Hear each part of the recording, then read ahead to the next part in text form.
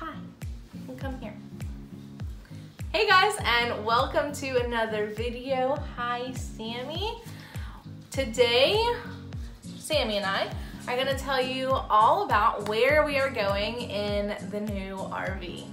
So if you want to see those adventures happening, just go ahead and click the subscribe button. You'll see where we're going, what we're doing there, and the drive along the way, as well as what it's like living in an RV full time and what we do out on the road. All right, so we are starting our trip from Waco, Texas, where we currently live and are selling our house and we're making our way up to a little tiny town in New Jersey called Swedesboro. It's a little bit south of Philadelphia. And along the way, we're gonna make a lot of stops, including a national park, Harper's Ferry, an island with free roaming ponies. It's going to be amazing. So from Waco, our first night will be spent just about 400 miles north of here in a little state park in Arkansas. Uh, I'm not sure the name of it, but I'll put it right here on the screen.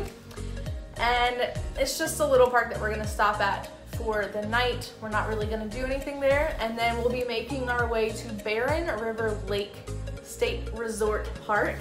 It's a mouthful.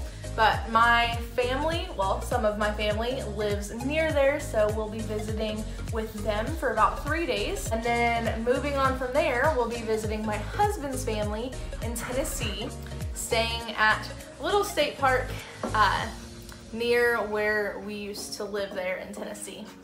And then once we have left there, we're gonna be making our way to Shenandoah National Park. After staying there a couple of nights, we'll be hitting Harper's Ferry, which I have always wanted to go to. Harper's Ferry is absolutely beautiful and we're planning some river adventures there. so stay tuned for that. That's gonna be so exciting. And then after Harper's Ferry is what I have been waiting for for so, so long.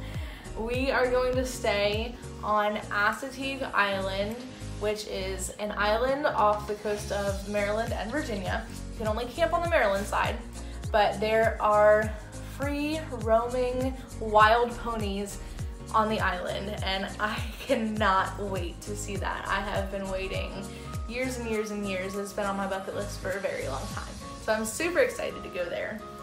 After there, we'll have one more stop before we get to New Jersey and that is in Delaware at a state park there. It'll be on the ocean and we plan on spending a few nights there and just soaking up all the ocean has to offer before we have to head inland to Swedesboro, New Jersey for Shane's job. And we'll be in Swedesboro for three months and then more adventure awaits. So this is like a little table of contents what is going to be coming on this channel in the next month or so. It'll take us about two weeks to drive all the way up to New Jersey from here and we will be in New Jersey for three weeks. And then after that, you'll just have to stay tuned to see. So like this video if you are excited about seeing all of these adventures unfold. Make sure to hit that subscribe button so you don't miss them and I will see you in the next video.